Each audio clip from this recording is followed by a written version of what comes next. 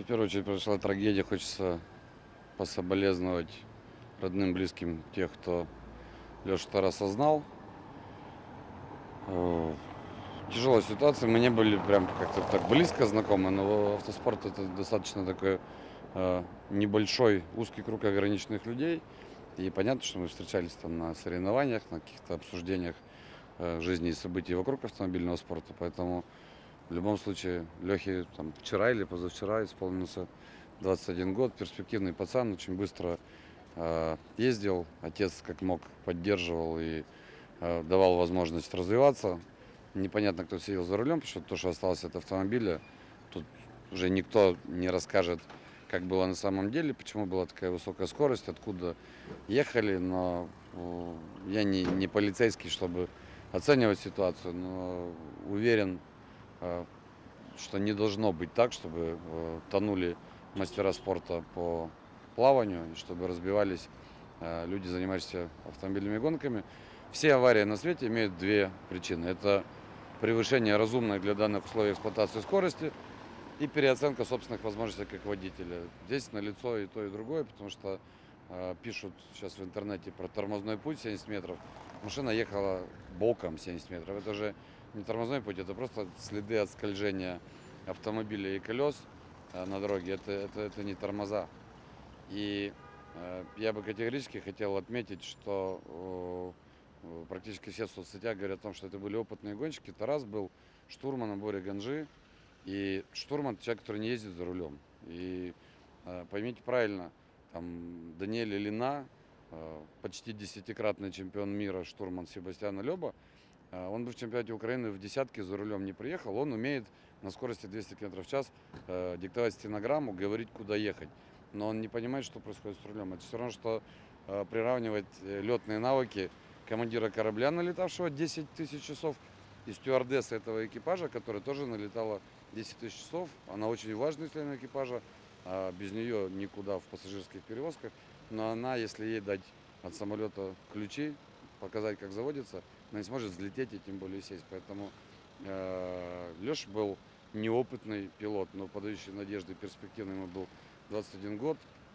Если он сидел за рулем, не дай бог, это переоценка своих возможностей. Утро, раннее, перепад э, температуры, место с очень неприятным трамплином, там что уходить направо и ехать на киквиза, что уходить под мост. Не зря там раньше всегда стоял, ну не стационарный пост ГАИ, но уже место было прибитое гаишниками, и все люди, которые ездили там больше, чем два раза, знали, что под этим мостом тебя поймают за превышение, э, накажут и сбрасывались. И, возможно, в каких-то Э, обстоятельствах нам бы неплохо было бы вернуть э, практику вот этих вот видных и очевидных э, выставленных постов с радарами, потому что мы не можем контролировать скорость людей.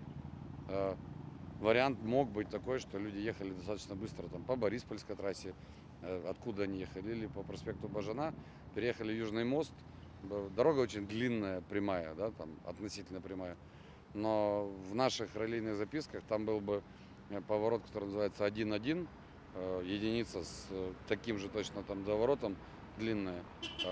Это требует в спорте очень серьезных навыков правильно заехать в этот поворот, поставить его на дугу и остаться. Но это спорт. И мы давным-давно не ездим в обычных условиях, так как бы ехали в спорте. Я сюда ехал из Киева там 5 с лишним часов, ехал себе свои 90 км в час на бусе, и никуда особо не тормозился. Э, мы находимся с вами во Львове. И раньше были времена, когда я бы сюда, наверное, долетел часа за три с половиной, все бы дымило, горели тормоза, покрышки, сердце, пульс 200. Но я считал бы, что я герой. Это было еще там во времена, когда только-только э, Украина стала независимой.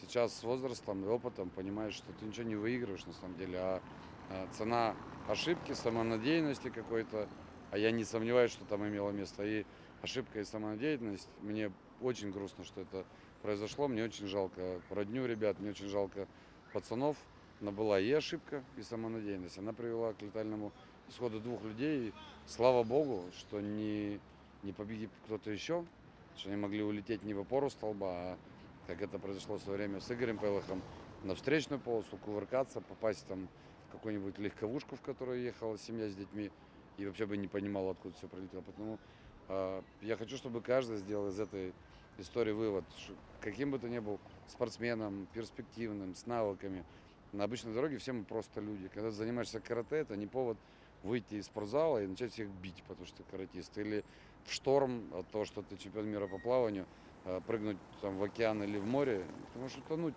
в э, стакане воды. Поэтому здесь мы все просто обычные люди, ездим, живем и не отсвечиваем. Вот, вот так это и надо воспринимать.